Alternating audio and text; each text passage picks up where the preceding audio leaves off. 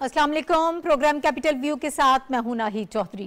Nazim, programme में हम बात करेंगे एक बड़ी अच्छी खबर है पाकिस्तान के हवाले से। तुर्किया के नायब सदर पाकिस्तान के दो रोज़ा दौरे पर हैं। आज वजी अजम शहबाज शरीफ साहब भी कराची पहुँचे हैं और नेवी को एम्पावर करने के लिए इस वक्त जो कोशिशें की जा रही हैं, तुर्की हमारा भरपूर इसमें साथ दे रहा है। कुछ मुश्तर प्रोजेक्ट्स हैं जिन पर काम किया जा रहा है। आज ये जो तकरीब हुई है हुई है कराची में शिप यार्ड तकरीब में आज शिरकत की है। वज़ी अजम शहबाज शरीफ साहब ने और जो तुर्की के नायब सदर जो हैं, वो इसमें शरीक थे इसमें तकरीब में। और एयरफोर्स नेवी आर्मी किसी भी आप वो फोर्सेस की जब हम बात करते हैं, तुर्की हमारा वो दोस्त रहा है, जिनके साथ यकीन हमारे तारीख़ी ताल्लुक हैं, बरदराना ताल्लुक हैं। हर शोबे में उन्होंने पाकिस्तान को एम्पावर करने के लिए बेहद कोशिश की है और पाकिस्तान का भरपूर साथ दिया है। उसके अलावा कोई भी ऐसे हालात हों, चाहे सैलाब हो, जलजिला हो या कोई कुदरती आफात हों, उस पर तुर्की हमेशा पाकिस्तान के साथ रहा है। पीपल टू पीपल कॉन्टेक्ट भी इस इस्लामी मुल्क के साथ। ऑब्वियसली पाकिस्तान के बहुत अच्छे हैं, बरदराना इस्लामी ताल्लुक हैं। आज की हम इस तकरीब के हवाले से बात करेंगे। आज पी एन एस तारीख की ये तकरीब थी, जिसमें शिरकत की तुर्किया के नायब सदर ने। और इस हवाले से मज़ीद डिटेल्स जो हैं हम आपसे शेयर करेंगे। पाकिस्तान की नेवी को किस तरह से मज़ीद एम्पावर किया जा सकता है और इस हवाले से क्या इकदाम किए जा रहे हैं और दोनों ममालिक के जो ताल्लुक हैं उसको आने वाले दिनों में हम किस तरह से देखते हैं, ये सारी चीज़ें डिस्कशन का हिस्सा होंगी प्रोग्राम में। और मेरे साथ जो इस वक्त गेस्ट मौजूद हैं, मैं उनका इंट्रोडक्शन आपसे करा देती हूँ। हमारे साथ इस्लामाबाद स्टूडियोज़ में मौजूद हैं रशीद साफ़ी साहब और रशीद साफ़ी साहब मरूफ तजियाकार हैं सीनियर सहाफ़ी हैं। बहुत शुक्रिया साफ़ी साहब आपका हमें ज्वाइन करने के लिए। उनके साथ हमायूं खान साहब प्रोग्राम में हमें ज्वाइन कर रहे हैं। हमायूं खान साहब भी मरूफ सहाफ़ी हैं सीनियर तजियाकार हैं। आपका भी बहुत शुक्रिया। और इसके अलावा वायस कायप मुझे शहजादा जुल्फ़िकार साहब ज्वाइन कर रहे हैं। आप भी सीनियर सहाफ़ी हैं सीनियर तजियकार हैं। सर, आपका बहुत शुक्रिया हमें प्रोग्राम में ज्वाइन करने के लिए। आज की तकरीब के हवाले से जब हमने बात की, कुछ उसकी हम झलकियाँ भी आपको दिखाएँगे। वज़ी अजम शहबाज शरीफ साहब ने जो ख़िताब किया, जो गुफ्तु उन्होंने वहाँ की, वो भी कुछ हम आपको सुनाना चाहते हैं। ये शॉर्ट देखिएगा जिसके बाद वापस आते हैं, बात करेंगे। We regional and global issues. Today's uh, uh, joint venture project is another example of our commitment to strengthen each other's industries, trade, and enhance our economic cooperation. I think this is high time that we further enhance our strategic cooperation and add on to this wonderful joint venture in many other areas. आप गुफ्तु सुन रहे थे वज़ी अजम साहब जब ख़िताब कर रहे थे इसी पे हम बात करते हैं पाकिस्तान और तुर्की के जो ताल्लुक हैं और आज की जो तकरीब है। ये आ, कितनी बड़ी पाकिस्तान के लिए आप भी कह सकते हैं एक बड़ा दिन है। कल इससे पहले हमने देखा कि जो चाइना का हाई लेवल डेलीगेशन पाकिस्तान में मौजूद था अब तुर्की नायब सदर पाकिस्तान में दो रोज़ के लिए मौजूद हैं। तो बड़ी अच्छी हमारी फॉरन पॉलिसी जो है वो भी परफॉर्म कर रही है इन सारे हालात में। इस पर भी बात करेंगे। साफ़ी साहब ओवरऑल एक तो आज की जो शिप यार्ड तकरीब है, इसके हवाले से बताइएगा। पी एन एस तारिक की लॉन्चिंग की ये तकरीब है, बड़ा ज़बरदस्त किस्म का इनिशिएटिव तुर्की की तरफ़ से भी लिया जा रहा है और जो हमारे दोनों ममालिक के ताल्लुक हैं वो भी तारीखी ताल्लुक हैं, उसमें तो कोई दो राय मौजूद नहीं है कि जितनी कुर्बत आपस में इस्लामी ममालिक की है हमारी, उसकी तो कोई मिसाल नहीं मिलती। चीन और तुर्की दो ऐसे ममालिक हैं जो पाकिस्तान के आल वेदर टेस्टेड फ्रेंड्स हैं। और ये जो आज की तकरीब है, ये पाकिस्तान नेवी की तारीख़ में एक इंतहाई अहमियत की हामिल तकरीब है। इसमें आप जानती है कि दो दिन से नायब सदर तुर्की के मौजूद हैं मोज़ मेहमान और वज़ी अजम साहब वज़ी ख़ारजा एक अली सतही वफ जो है आज जो अफ्ती तकरीब थी मिलजम प्रोजेक्ट आप जानती हैं हम्म। कि ये प्रोजेक्ट जो पाकिस्तान ने 2018 से तुर्की के साथ साइन किया है और ये सिंगल लार्जेस्ट नेवी प्रोजेक्ट है तुर्की और हम्म। पाकिस्तान के बीच में तकरीबन डेढ़ अरब डॉलर से जायद की ये एक प्रोजेक्ट है और दो हज़ार अठारह से इस पर मुसलसल काम हो रहा है और आज जो खसूसी बेड़ा शामिल हम्म। हुआ है पाकिस्तानी नेवी में हम्म। इसने जो हमारे पड़ोस में एक जो इश्तियाल पसंद पड़ोसी जो मौजूद है। जो ना सिर्फ़ ज़मीन पे फसाद और तशद पिलाने के लिए बदनाम है बल्कि वो समंदरी हदूद की खिलाफ वर्जी और उसके हवाले से भी इंतहाई बदनाम मुल्क है। तो पहली दफ़ा हम इस बेड़े के शामिल होने के बाद हमने उनके साथ जो है मिल्ट्री और नेवी के लेवल पे हमने समंदर में भी उनके साथ हिसाब बराबर कर दिया है। और अब उनकी पहली भी ज़रूरत नहीं थी और इस बेड़े के शामिल होने के बाद हम यकीनी तौर पर ये कर सकते हैं कि ख़त्े में बहरिया के और नेवी के हवाले से ताकत का हम्म, तवाज़न जो है वो बरकरार बैलेंस हो हम्म। चुका है वैसे भी आप जानती है कि तुर्की जो है स्पेशली कश्मीर के मामले हम्म। पे ये एक ऐसा पाकिस्तान का दोस्त मुल्क है कि वो अल ऐलान मकबूजा जम्मू कश्मीर को जो है वो पाकिस्तान का हिस्सा हम्म। तस्वर करते हैं तस्लीम करते हैं और इसके बदले ज़ाहिर पाकिस्तान भी जो साइप्रस के मामले में वो तुर्की का हर मामले पे और हर इंटरनेशनल फोरम पे बग़ैर सोचे समझे और बग़ैर किसी तावीलों के हम्म, उनका हम्म, साथ देते हैं और बल्कि हर तमाम ममालिक से बढ़ के तुर्की का साथ देते हैं।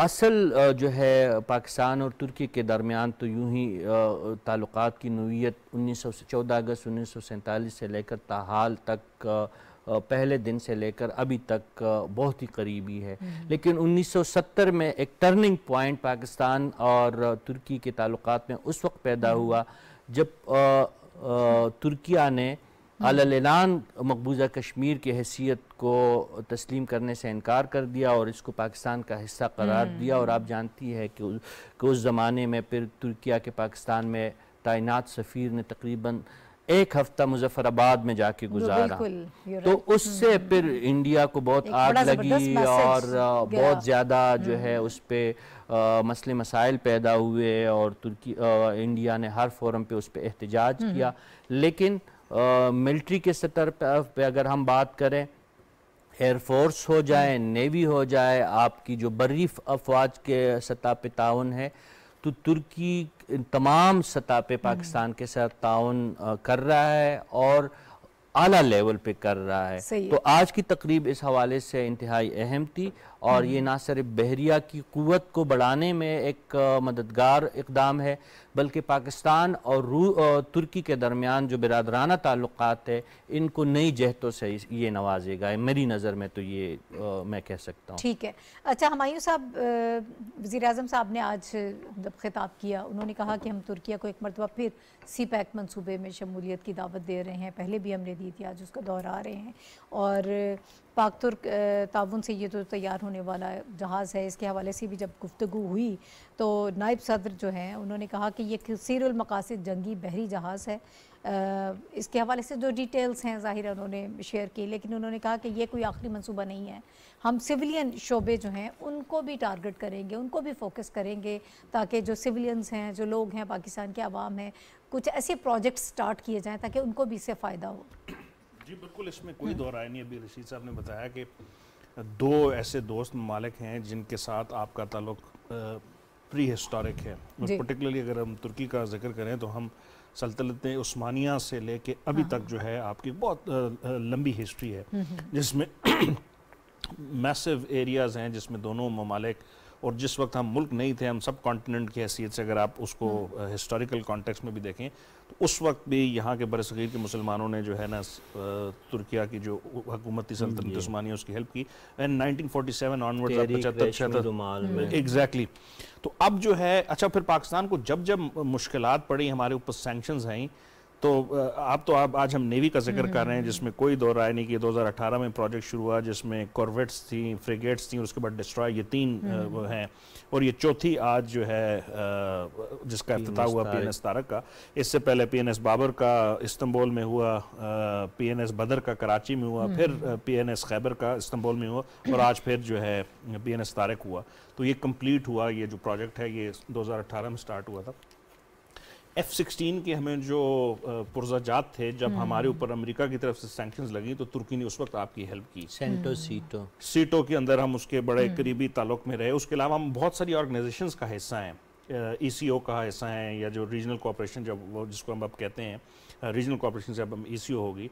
तो तुर्की इंटरनेशनल लेवल पे कश्मीर के ऊपर इस वक्त अब हमें मुस्लिम ममालिक से जो सबसे बड़ी सपोर्ट मिली है वो तुर्की के सदर की तरफ़ से है। जिन्होंने बारहा जो है प्राइम मिनिस्टर मोदी को जो है वो ऑन इंटरनेशनल स्टेज कहा है कि वहाँ पे मुसलमानों के साथ ज़्यादती हो रही है। तो ये बेसिकली एक ओवरऑल गैम्बट ऑफ़ रिलेशनशिप था जिसका आज की एक कड़ी नेवी है। लेकिन जो दूसरा सवाल आज प्राइम मिनिस्टर ने अपनी तकरीर में बड़ा अहम वो कहा कि हम तुर्की को दोबारा दावत देते हैं कि economic Pakistan China Pakistan economic corridor है उसके अंदर अपनी इन्वेस्टमेंट करें। आपको याद होगा कि प्राइम मिनिस्टर साहब जब चीफ मिनिस्टर थे तो उस वक्त तुर्की कुछ कंपनियों ने जो है पूरे पंजाब में वेस्ट मैनेजमेंट के अंदर उनका बड़ा अहम रहा। हाँ। उसके अलावा हमारे और बहुत सारे शोबे हैं जिसमें तुर्की के लोग यहाँ पे इन्वेस्टमेंट कर सकते हैं। टर्की बेसिकली यूरोप और एशिया के दरमियान एक बहुत बड़ी कड़ी है। और नेटो का भी जो है वो एक मुल्क है। हमें टेक्नोलॉजी की भी जब जब ज़रूरत पड़ी तो तुर्की ने हमेशा पाकिस्तान का साथ दिया। तो मेरा ख्याल है ये ओवरऑल रिलेशनशिप के अंदर एक एक और जो है फेदर जो है ना हम्म। आपकी जो टोपी के अंदर एक लगा दिया गया कि आज आपने नेवी की कॉपरेशन हाँ। की आपकी एयरफोर्स की थी आपकी इकोनॉमिक टू इकोनॉमिक है तुर्की के अंदर आज भी जो सबसे ज़्यादा गुडविल अगर किसी मुल्क की है तो वो पाकिस्तानियों की है हम्म। पाकिस्तान का कोई भी बंदा चला जाए तो वो तुर्की के अंदर उसको एक भाई की तरफ़ कंसिडर हम्म। किया जाता है मेरा ख्याल है इन गुडविल को कंसिडर करना चाहिए टर्की के जो यूरोपियन एक्सपीरियंसेस हैं उससे सबक हासिल करते हुए आज जो प्राइम मिनिस्टर की जो वो जो दूसरी दफ़ा दावत थी वो बड़ी अहमियत की अमल है हम्म। चूँकि हम अब second phase of economic corridor में दाखिल हो रहे हैं तो हम टर्किश कंपनीज़ को चाहेंगे कि वो यहाँ पे आके इन्वेस्टमेंट करें बिल्कुल हाँ। और अगर वो आके करती हैं एक तो ये है कि आपके हिस्टोरिकल लिंकेजेस हैं बरदराना हम्म। ताल्लुकात हैं तो मेरा ख्याल है एतमाद साजी भी ज़्यादा है एतमाद साजी ऑलरेडी है अब इससे हमने हाँ। आगे उस बेसिस से गुजर के जो है ना आगे बढ़ना है हमारे साहब भी फरमा रहे थे कि कुछ ममालिक हमारे लिए ऐसे हैं जो जोग्राफियाई तौर पे हम्म। हमसे सरहदों से तो अलग है लेकिन आ, हम एक दूसरे को एक ही मुल्क तस्वर हम्म। करते हैं। आप ख़ुद भी तुर्की गई होंगी हम्म। हमायूं साहब भी गए होंगे मुझे भी जाने का मौका मिले। बाज़ारों में भी इवन हम जब पाकिस्तान का तारुफ करवाते तो उनके तुर्कों के मुँह से पहला लफ्ज़ कारदेश का निकला थे। कारदेश पाकिस्तान यानी दोस्त पाकिस्तान। इससे बढ़ के पाकिस्तानियों को शायद किसी मुल्क में इतनी मोहब्बत हाँ। और इतनी उनसीयत हम्म। ना मिले लेकिन जो हमायूं साहब बता बात कर रहे थे मैं उसी को आगे बढ़ाऊँगा कि ये जो हमारे इकतसादी ताउन है जो हमारी सफारती ताउन है वो तो अपनी जगह पे अहमियत का हम्म। हामिल है लेकिन जो हमारे साथ फ़ौजी ताउन है तुर्की का वो बेमिसाल है। जब जब पाकिस्तान पे कड़ा वक्त आया है, अभी ज़िक्र कर रहे थे कि जब पाकिस्तान को पाबंदियों का सामना था तो एफ़ सोलह तैयारों की जितनी भी हमारे पायलट्स थे, उनके पुरजाजात के हवाले से तुर्की ने दुनिया की और आलमी दबाव को पस पुश डालती हुई पाकिस्तान की मदद की थी। उसके बाद पाकिस्तान ने भी, जब पाकिस्तान की सलाहियत फ़िज़ाइया में इतनी हो गई तो मशाक तैयारों की जितनी भी हमने उनके साथ जो ट्रेनिंग हम हमारी जो हमारे पास तैयारे मौजूद थे हमने तुर्की को फराहम की हम्म। तुर्की पे आलमी सतह पे जब जब उनके नेटो के साथ मसले हम्म। हुए जब उनके सरहदी इलाकों में अगर उनके कोई मसले हुए शाम के साथ हुए रूस के साथ हुए कई मामला हुए उसमें पाकिस्तान ने बग़ैर किसी शर्त के तुर्की का साथ हम्म। दिया है अब इसके साथ साथ अब आप देखिए आज़रबाईजान के मामले में नगोरा कारबाग के हवाले से हम्म। तुर्की का एक ख़ास हसासीत है उस हवाले से पाकिस्तान ना सिर्फ़ तुर्की के साथ उस मामले में कड़ा है बल्कि आज़रबाईजान को भी तुर्की की वजह से ज़्यादा अहमियत हम्म। मिल रही है साइप्रस के हवाले से जो है साइप्रस का एक दरीना हम्म। मसला तुर्की को दरपेश है जिस तरह हमें मकबूजा कश्मीर में एक गासिब फ़ौज की और एक गासिब हुकूमत की जो है उनकी उनका सामना है हम्म। तो इसी तरह तुर्की हमारे साथ इस मामले में है जब भी पाकिस्तान पे जंगी कोई माहौल मुसलत की गई है 1970 की बात करें हम्म। उससे पहले उन्नीस सौ पैंसठ की बात करें हर मामले पे तुर्की ने हमारा साथ दिया है तो है। तुर्की जो है all all weather tested friend है हाँ। और ये आज की जो तकरीब है स्पेशली हमारे बहरिया के हवाले हम्म, से हम्म, हम्म। तुर्की के कंट्रीब्यूशन कंट्रीब्यूशन जो, जो जो है वो मैच लिस्ट है ठीक है शहजादा साहब जो मैंने आपसे बात की थी पाकिस्तान और तुर्किया के ताल्लुकात के हवाले से अब उसमें कुछ और चीज़ें साफ़ी साहब ने ऐड कर दी हैं उन्नीस सौ पैंसठ की जंग हो, इकहत्तर की हो, जो भी मामला हों, दोनों ममालिक विदाउट यानी बगैर किसी हीलो हजत के एक दूसरे के साथ खड़े हैं। इस पर हम बात करेंगे। शहजादा जुल्फ़िकार साहब के साथ एक ब्रेक मुझे ब्रेक के बाद वापस आते हैं।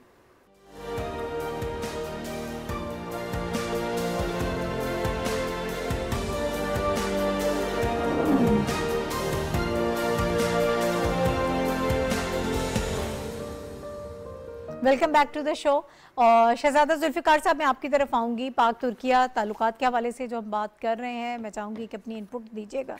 किस तरह से देख रहे हैं आप आने वाले दिनों में?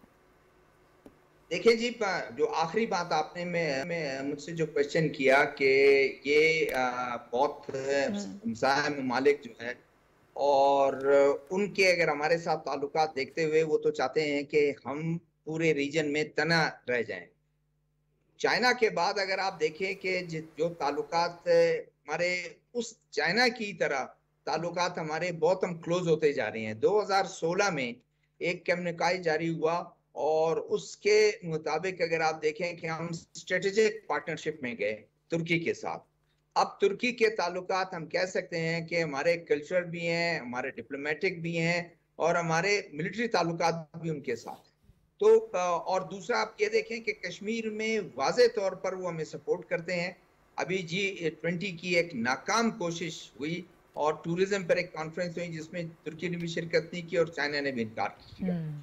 तो इस खत्े में ये हमारे लिए बड़ी कामयाबी है कि चाइना के बाद तुर्की भी तुर्की भी हमें जो है हमें सपोर्ट करता है और मुख्तलिफ़ शोबों शोबे में जिस तरह आज की तकरीब हुई और ये जो हम जो चौथा ये पी एन एस तारिक जो है ये इसका जो आज इसको बनाने का इसका फाइनल उसका इनाग्रेट हुआ।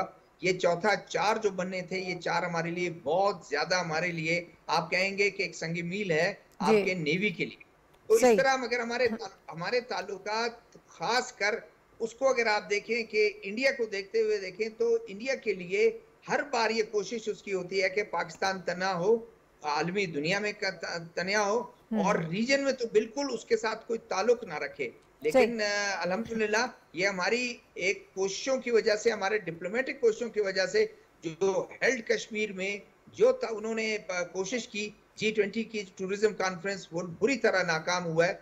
और हम समझते हैं कि ये हमारी भी सफारतकारी थी और पाकिस्तान के लिए आगे और तुर्की के ताल्लुकात जो है मजीद प्रमोट होते जाएँगे। जी।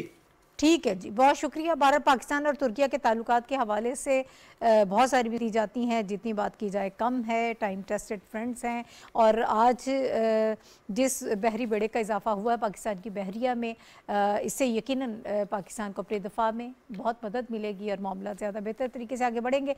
अभी हम चलते हैं आगे बढ़ते हैं और बात करते हैं मकबूजा कश्मीर के हवाले से। कल भी हमने बात की थी कि भारतीय आइन से कश्मीर की खसूसी खसूसी हैसियत जो है पाँच अगस्त दो को ख़त्म कर दी गई थी और ये भारत के अपने आइन के खिलाफ वर्जी है, जिस पर ये अमल दरामद किया गया और हमने देखा कि इसके बाद जिस तरह से कश्मीरियों ने आवाज़ उठाई, लेकिन उसको एक बड़ी जेल में तब्दील कर दिया गया, मुकम्मल तौर पर उनका इस्तेसाल किया गया। और बहुत सारे नौजवान, बहुत सारे हुरियत रहनुमा ऐसे हैं जिनको दूर दराज की जेलों में डाल दिया गया है, नज़रबंद कर दिया गया है और उनके घर वालों को भी नहीं मालूम कि वो किस जगह पर मौजूद हैं। फिर मौशी तौर पर उनका इस्तेसाल किया गया, कारोबार मुकम्मल तौर पर तबाह कर दिए गए, तालीमी इदारे वहाँ पर बंद कर दिए गए, यानी कोई ऐसी सूरत नहीं छोड़ी गई कि वहाँ पर रहने वाले जो कश्मीरी हैं वो आज़ादी से सांस ले सकें और एक उसका अर्ज़ को एक जेल में तब्दील कर दिया गया। शायद दुनिया की सबसे बड़ी जेल जो है वो इसको करार दिया जा सकता है।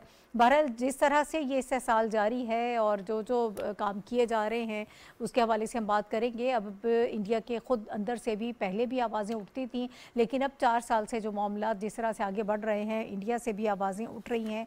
लोग इस पर बात भी कर रहे हैं और भारतीय सुप्रीम कोर्ट में भी इस गैर कानूनी अमल के ख़िलाफ़ एक दरख्वास्त की समाज जो है, वो शुरू हो गई है। एक बड़ी मशहूर सहाफ़ी हैं अनुराधा उन्होंने भी अपनी किताब में dismantled state untold story of Kashmir after article 370 इसका ज़िक्र किया है। ये सिर्फ़ एक खातून नहीं है, बहुत सारे सहाफ़ी ऐसे हैं जो एक सेम वॉइस हमें नज़र आती हैं, जो इस पर बात कर रहे हैं, इस पर लिख रहे हैं, जो कुछ इस वक्त हमें मोदी सरकार करती हुई नज़र आ रही है। इस पर हम बात करेंगे, क्या तीन सौ सत्तर की इस दिफा को बहाल किया जा सकता है? आगे मामला किस तरह से बढ़ेंगे? इस पर हम बात करेंगे। साफ़ी साहब सबसे पहले तो ओवरऑल जो सारी चीज़ें जिस तरह से बढ़ रही हैं, चार साल से हम देख रहे हैं और पाकिस्तान अन क्या, बल्कि पूरी दुनिया में जहाँ मुसलमान आबाद हैं, वो इसकी मजम्मत भी कर रहे हैं, इन सारे हालात की और कोशिशें कर रहे हैं कि किसी तरह से अपनी आवाज़ उठाएँ। साफ़ी साहब, अगर मुझे इजाज़त दें, मैं आपकी तरफ़ वापस आती हूँ। इस वक्त इम्तियाज़ इकबाल वानी साहब ने हमें ज्वाइन कर लिया। सिक्योरिटी इन्फॉर्मेशन है ए पी एच सी और ए के और पाकिस्तान चैप्टर के से इनका ताल्लुक है। बहुत शुक्रिया वानी साहब, आपका, सर हमें प्रोग्राम में वक्त देने के लिए। इससे पहले कि हम बात करें, आप हमें ज़्यादा बेहतर तरीके से बता पाएँगे कि इस वक्त एग्जैक्ट सिचुएशन क्या है। चार साल में जो हालात थे, हम वो सारे देखते रहे और जिस तरह से दुनिया को, के सामने पेश की जाती रही सूरत हाल के, वहाँ पर सब कुछ नॉर्मल है। अगरचे नॉर्मल नहीं था। एग्जैक्ट सिचुएशन इस वक्त क्या है? बिस्मिल्लाहिर्रहमानिर्रहीम। पाँच अगस्त अगस्त 2019 के बाद जो सिचुएशन है मकबूजा कश्मीर की वो इंतहाई कशीदा है। वहाँ वहाँ पर जो है आए रोज शहादतें भी हो रही है लोगों की गिरफ्तारियाँ भी हो रही है लोगों के घरों पे छापे भी मारे जा रहे हैं।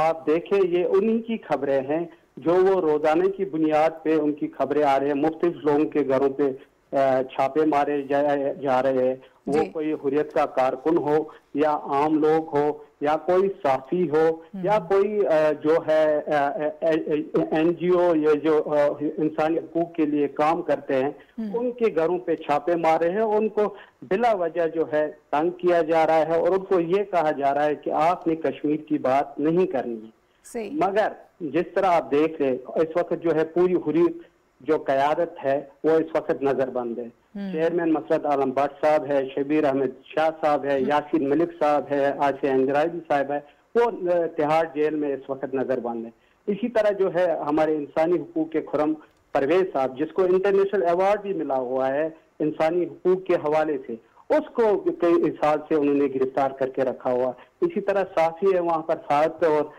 आसिफ सुल्तान उनको भी कई सालों से नजरबंद किया हम्म। ऐसी बात वहाँ पर सोशल मीडिया के ज़रिए अगर कोई बात मामूली से वहाँ पर कर ले तो उसको भी गिरफ़्तार किया जाता है हम्म। और इस वक्त जो है आप देखिए रोज आप सुनती है आज भी कोई शहादत हुई होगी परसों भी हुई थी परसों भी हुई रोज़ाना की बुनियाद पे वहाँ शहीद किया जाता है फेक इनकाउंटर के ज़रिए और जिस तरह भारत ने पाँच अगस्त को किया उसका मकसद एक ही है कि वहाँ डेमोग्राफिक चेंज लाना है।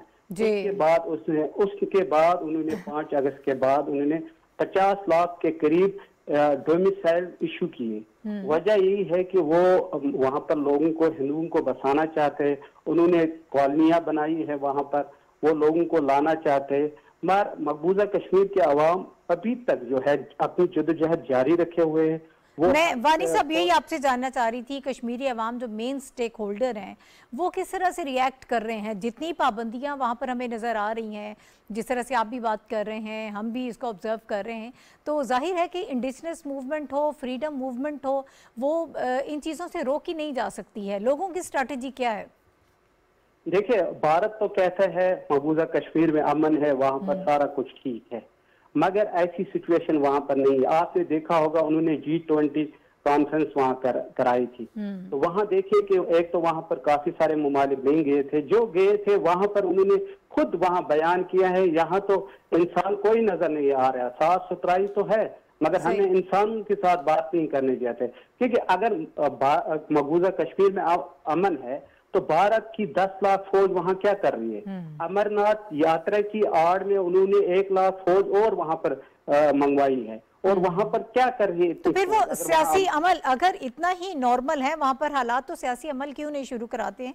ये वाहिद खत्ता है इंडिया का बताया जा रहा है जहाँ पाँच साल से सिर्फ़ एक लेफ्टिनेंट गवर्नर है चंद ब्यूरोक्रेट्स हैं जो बरह रास्त इंडियन जो वजारत दाखिला उसके अंडर काम कर रहे हैं और पूरे खत्े को संभाला उन्होंने। यही बात मैं कर रहा हूँ। वहाँ पर तो एक सियासी कोई इस वक्त जो बात करने नहीं दी जा रही है ना इस वक्त जो है। आप देखिए हिंद नवाज़ जो पार्टी है फारूक अब्दुल्ला है महबूबा मुफ्ती है या और भी जो उनकी जो उनकी बोली बोलते हैं उनको सियासी जो है अपनी जो है इलेक्शन कैंपेन या कुछ भी करने नहीं दी जा रहे। हमारी तो जो जुदजहद जुदजहद आज़ादी के लिए अपनी जुदजहद जारी रखे हुए उनकी तो बात ही नहीं है। उनके तो घरों पे छापे मारे जा रहे हैं उनको गिरफ्तारियाँ हो रही है।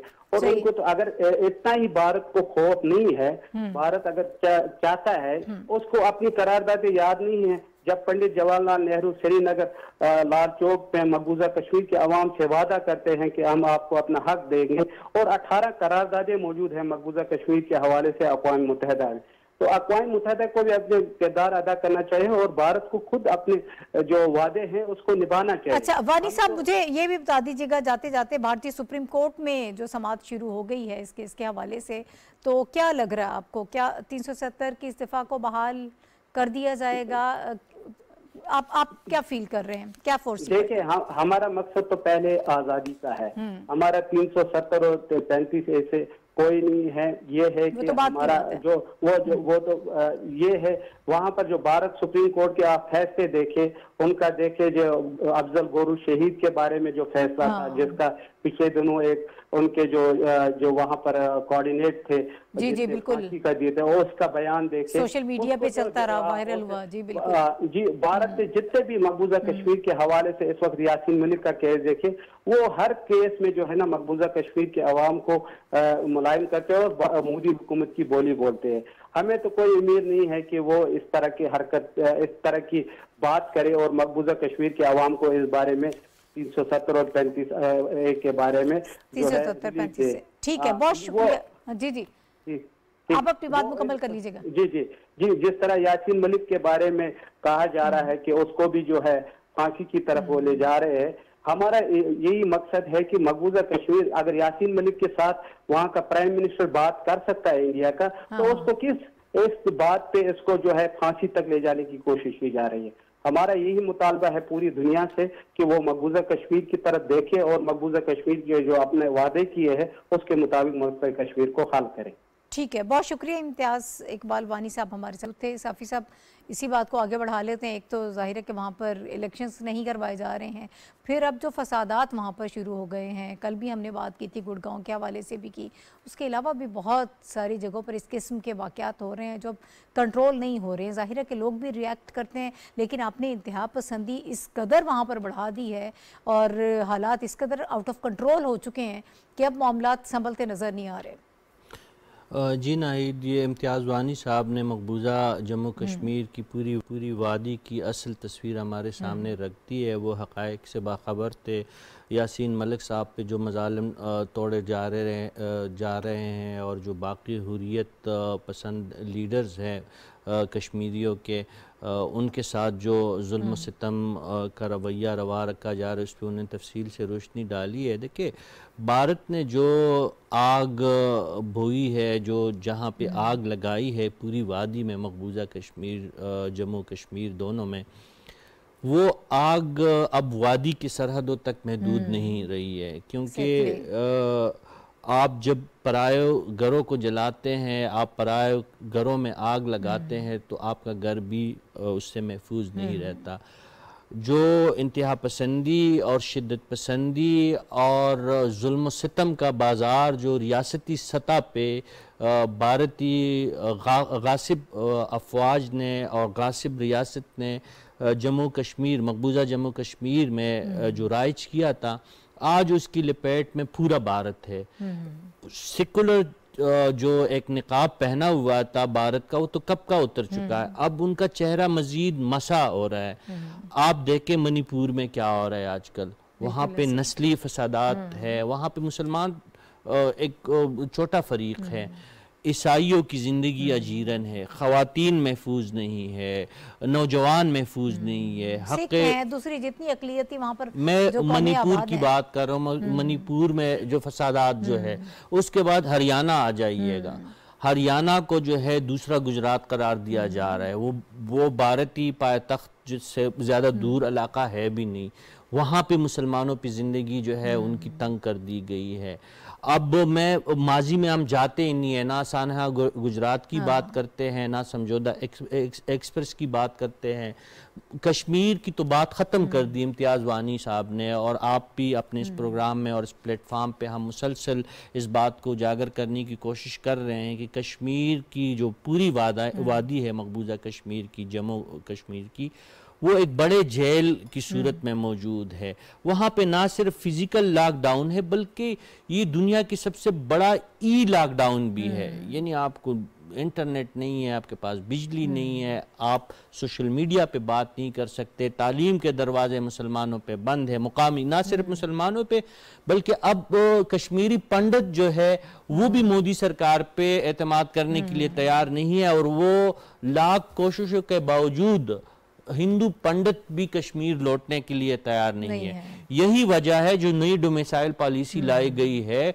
भारत से मुंबई से और जयपुर से और पता नहीं कहाँ कहाँ से जो है इंतहा पसंद जो अफराद है उनको ला के कश्मीर की जो है डोमिसाइल दी हम्म। जाती है जो उनकी नई तालीमी पॉलिसी है जो उनकी नई इलेक्ट्रॉनिक पॉलिसी है जो वो स्पेशली कश्मीर के लिए मकबूजा हाँ। कश्मीर के लिए जो उन्होंने राइज की है इंतहाई तशवीशनाक सूरत हाल है और मैंने जिस तरह कहा कि अब ये आग जो है वादी से निकलकर बाकी भारत को अपने लपेट में रह ले चुका है। मणिपुर हरियाणा असम नागालैंड हम्म। खालिस्तान आपका पंजाब, पंजाब हर जगह पे जो है हिंदू इंतहा पसंदी के खिलाफ रिएक्शन सामने आ रहा है। थोड़ा कम है। मैं आपकी तरफ़ आऊँगी। एक तो जरा थोड़ा इकोनॉमिकली जो हम बात कर रहे थे कि मौशी तौर पर जो इस्तेसाल है मतलब कोई ऐसा रास्ता नहीं छोड़ा कि लोग वहाँ पर ज़िंदगी गुजार सकें हर तरफ़ से उनको दबा लिया जाए।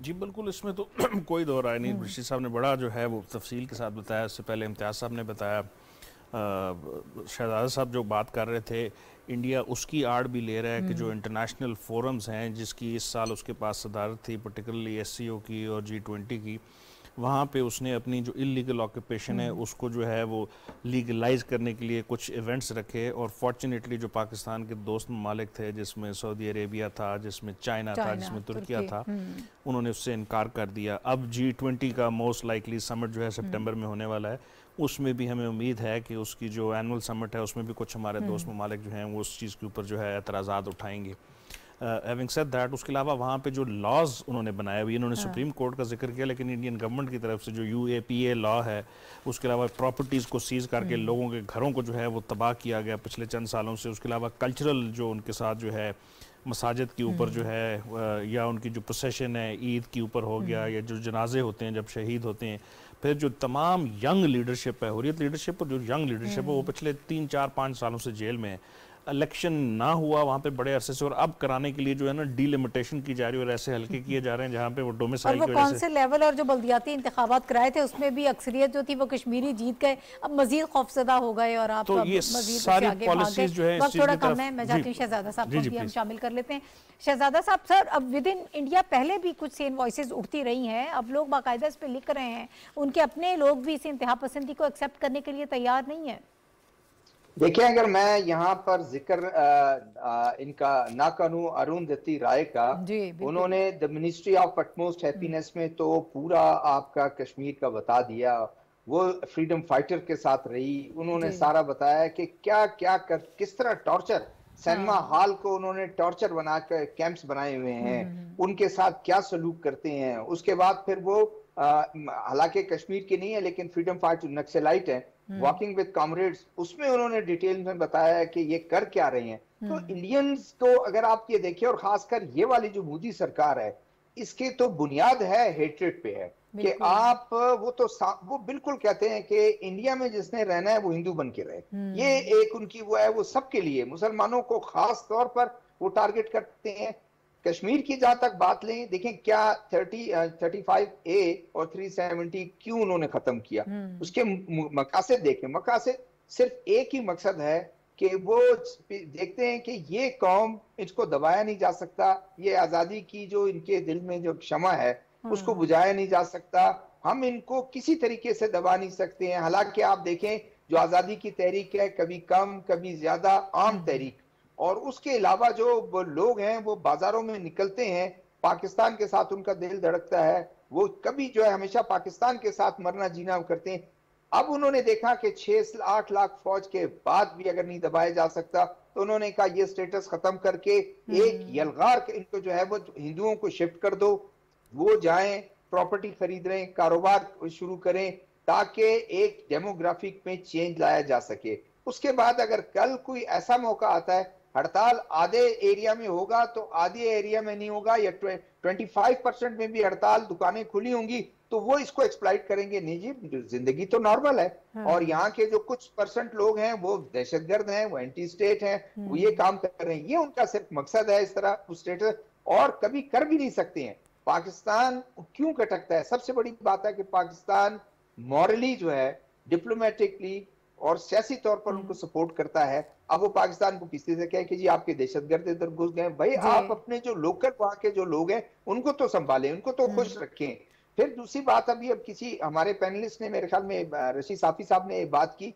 कितनी अजीब बात है कि वो लोग बल्कि वानी साहब ने बात की कि वो लोग जो कल तक इंडिया के वो उनके हंग पार्लियामेंट और उनके तमाम इनके पॉपेट रिजीम के वो उनको लीड करते थे। आज वही उनके खिलाफ हो गए हैं जब से ये 370 और 35 जो है वो, वो खत्म किया उन्होंने वो भी खिलाफ हो गए हैं। तो हम्म। मुझे बताएँ कि अब दोस्त कौन रहा? वो जो उन्होंने सारा उनको पिछले जो है वो सत्तर बहत्तर साल से पाल रखा था और वो उन्हीं की बात करते थे आज वही उनके खिलाफ हो गए फारूक अब्दुल्ला की सारी फैमिली वो हम्म। मुफ्ती ये आपकी महबूबा मुफ्ती जो है वो उनके खिलाफ हो गई है। वो वही बात कर रही है इसका कोई नहीं हो रहा कोई इम्पैक्ट वो जो सारी पॉलिसीज़ हैं उसमें कोई तब्दीली नज़र नहीं आ रही है। देखिए वो अफसोस की बात है हम्म। कि यूएन जितनी भी आप मुझे पैलेट गन्स का जो बिल्कुल एक अरूज था वो इस्तेमाल करते थे लोगों को अपाज हम्म। कर रहे हैं लोगों की आँखें जो है फोड़ रहे हैं। तो मुझे बताएँ कि उस वक्त जो है यूएन खामोशी से एक मुझे याद है कि लेटर लिखा वो भी उन्होंने शटअप काल दी। खामोश चाहिए तो ये है कि यूएन भिजवाए ऑब्जर्वर भिजवाए ना। अभी हम्म। तक तो इल्ज़ाम है वो जाके ऑब्जर्वर तो भिजवाए जाके उसको देख तो ले लोगों को लोग किस हालत में जी रहे हैं जिस तरह भी इन्होंने कहा कि ई जो है वो बैन बिल्कुल आपने तो तब उनको बिल्कुल दुनिया से काट दिया आज के दौर में जो इस वक्त इंटरनेट का दौर है इंफॉर्मेशन की इंफॉर्मेशन टेक्नोलॉजी का दौर है आज आपने उनको एक जेल में रखा हुआ है और अभी तो रिसेंटली मैं वो देख रहा था कि वहाँ के जो इकोनॉमिकली जो उनके साथ जो कर रहे हैं हम्म। उनके जो सेब है वो उससे वादी से बाहर नहीं जाने, जाने दिया जा रहा। हम्म। मतलब आप माशी तौर पर उनको इतना परेशान करें कि वो आपके तसल्लुत को आपके तसल्लुत को गैर कानूनी तसल्लुत को आपके कब्जे को मान ले और कहें कि अच्छा भाई हम पाकिस्तान से बिल्कुल नाता तोड़ना चाहते हैं। हम आपकी जो ये उनका वो है और ये शायद उनकी जो है वो नाकाम कोशिश होती रहेगी कभी ये उनका ख्वाब पूरा नहीं होगा। ठीक है ठीक। जी साल और आप एक्सपेक्ट कर लें। कि वहाँ पे फिर जो है जिस तरह उन्होंने पुलवामा हाँ। का ढोंग रचाया था और उसके ऊपर उस वक्त के जो हम्म। गवर्नर थे सत्यपाल मलिक साहब उनका बयान सामने है हाँ। सीएम वेस्ट बंगाल जो है ममता बनर्जी उन्होंने कहा कि ये झूठ है और ऐसा हम्म। ढोंग रचा के मोदी साहब फिर इलेक्शन से पहले हम्म। कुछ इस किस्म ऐसा माहौल बनाने की बनाएँगे तो ये आप देखिएगा कुछ न कुछ वो करने की कोशिश करेंगे बिल्कुल सही कह रहे हैं बहुत शुक्रिया रशीद साफी साहब हमायूं खान साहब और शहजादा जुल्फिकार साहब मेरे साथ मौजूद थे कश्मीर के हवाले से हम बात कर रहे थे योम साल, पाँच अगस्त को हम चार साल से मनाते हैं। लेकिन ये एक बहुत बड़ा सवालिया निशान है आलमी ताकतों के लिए, एक बहुत बड़ा ये सवाल है कि क्यों इसकी तरफ़ तवज्जो नहीं दी जाती? बशमूल यूएन, सब आलमी ताकतें जो इस पर खामोश हैं। इस पर यकीनन बात करने की भी ज़रूरत है और पाकिस्तान ज़ाहिर है, जिस सिफारती सतह पर जिस तरह से इसके लिए आवाज़ उठा रहा है और हम इस पर बात कर रहे हैं, हम करते रहेंगे और लेकिन ये दुआ भी है साथ के साथ कि ये सारे जो मामला हैं, ये बेहतर हो जाए। इसके साथ ही नाई चौधरी को इजाज़त दीजिए। अगले हफ़्ते इन आप दोबारा आपसे मुलाकात होगी। अल्लाह हाफिज़।